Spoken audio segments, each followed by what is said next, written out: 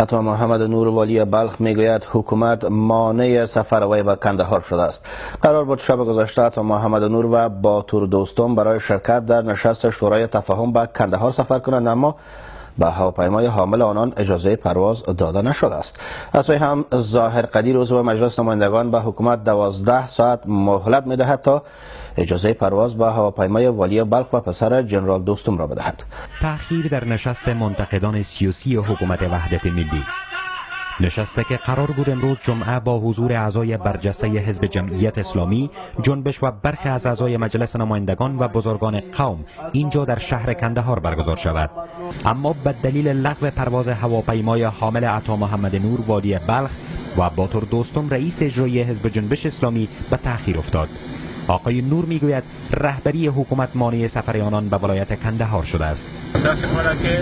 روی خندار یکی از گوشای وطن ما و یکی از سرزمین هماسه و با افتخار کشور ماست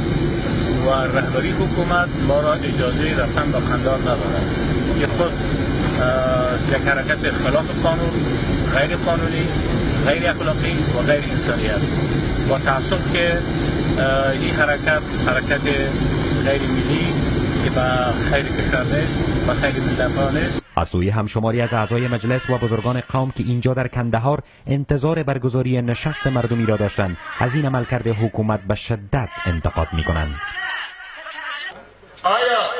په افغانستان کې اوس دیکتاتوري تر دې اندازې پورې ورسېدله چې د بهر نه خو ممنوع دخول موجود و اوس په داخل د ولایاتو کې هم یو والي او د افغانستان د تابعیت لرونکي نور اشخاص او افراد قومي مشران نشي کولی چې پرواز وکړي ډاکټر صاحب غني دویم متفکره خوخه دی چې مشوره یې اختار غني د یو دوست نصیحت غني دولس ساعتو کې خپل ملمه مونږ په لوی قندار کې غواړو او په دې غونډه کې شریک غواړو. کني بیا ګله دي د خپل لزانه اغم د قانون په چوکاټ کې من هیڅ حرکت تا سره خلاف د قانون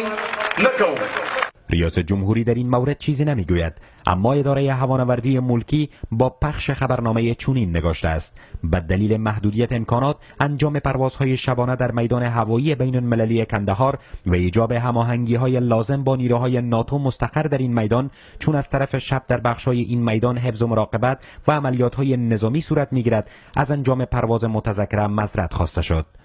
با این همه رئیس اجرایی حزب جمعیت اسلامی می‌گوید که این عمل کرده حکومت وحدت ملی را خدشدار ساخته و باعث تضعیف حکومت خواهد شد.